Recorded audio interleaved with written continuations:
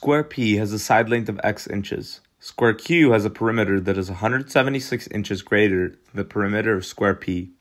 The function f gives the area of square Q in square inches. Which of the following defines f? So let's begin by drawing square P.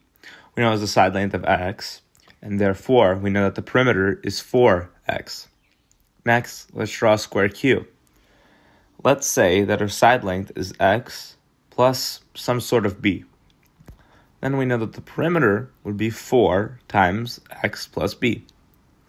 Now let's set it up. We know that 4x plus 4b, because we open the parenthesis, is the same as 4x plus 176. Then let's just subtract 4x from both sides to get 176 equals 4b. From here, we do some math. We can see that b equals to 44. Finally, let's substitute this back into our side length for q. We know the area of a square would just be our side length squared, so x plus 44 squared.